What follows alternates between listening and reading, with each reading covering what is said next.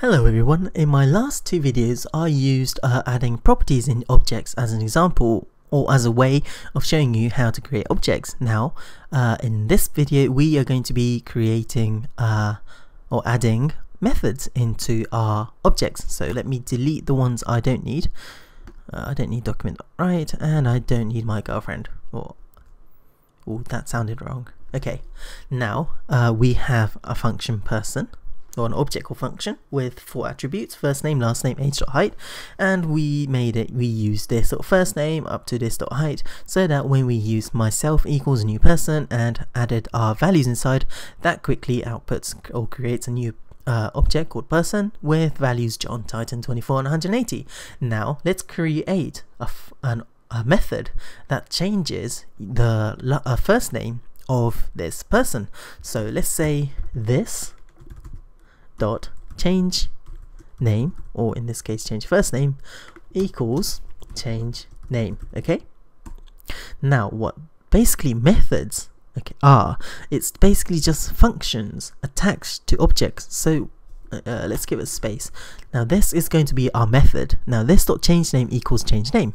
And below that we are going to be creating a function called change name which is going to be exactly the same as this okay and inside here uh, what we're going to have is an attribute called name. And uh, what is it? And okay, there we go.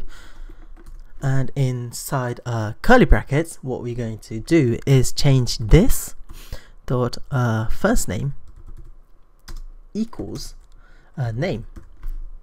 Okay so uh, what this does is once I uh, load this function change name and inside here I uh, type in like a name called I don't know Matthew or something. This dot first name is going to be now equal to name which in this case is Matthew my input. So that's going to create uh, change my first name from uh, John to Matthew. So I've got myself equals new person and let's change uh, myself dot change name. So I'm going to call my uh, method. And inside here we are going to say let's just use Matthew because I said Matthew. And let's do document dot write? And uh, myself dot first name. Like so actually let's uh, cut this for now. And refresh. There we go. By default our first name is John like how we stated. But when I add or my object my myself.change name to Matthew what that does is change my name to Matthew.